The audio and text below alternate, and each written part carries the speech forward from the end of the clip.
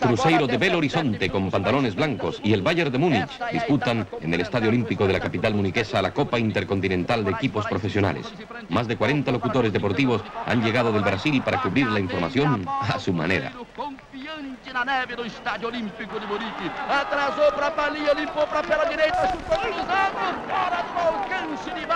De una de las emisoras brasileñas.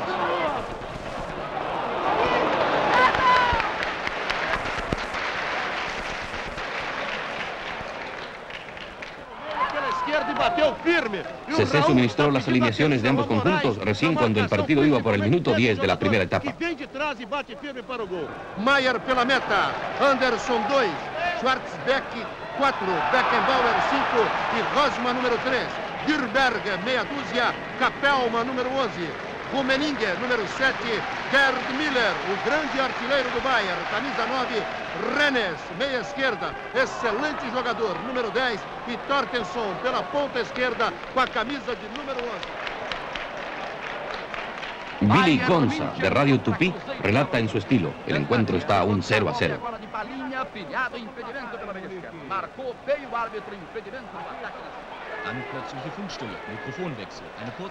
Willy Ganza introduce ahora a su comentarista Gerald Borges.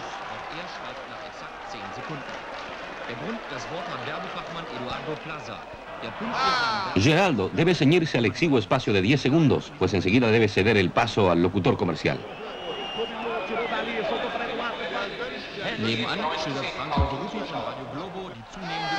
Gracias a la clase de Franz Beckenbauer, los bávaros mantienen una evidente superioridad sobre sus rivales de ultramar.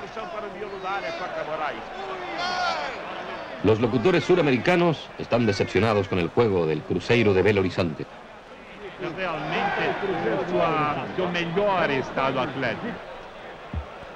Poco antes del final de la primera parte, el bombardero Miller desperdicia una buena ocasión.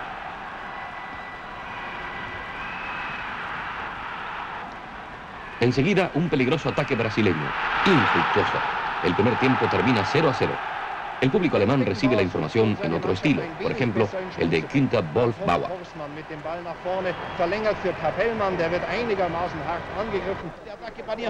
Los locutores brasileños, como los del resto de Sudamérica, vuelcan sobre el micrófono toda su emoción y temperamento.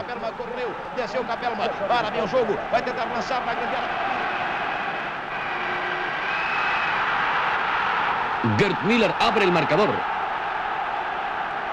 Y 120 segundos más tarde el 2 a 0 por intermedio de Niño Malo Capelman.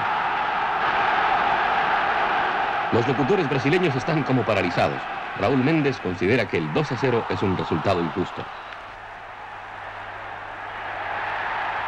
Donde Méndez calla, hablan sus colegas para seguir transmitiendo la malhadada información. El comentario más breve de este partido lo hizo el entrenador del Bayern, Detmar Kremer.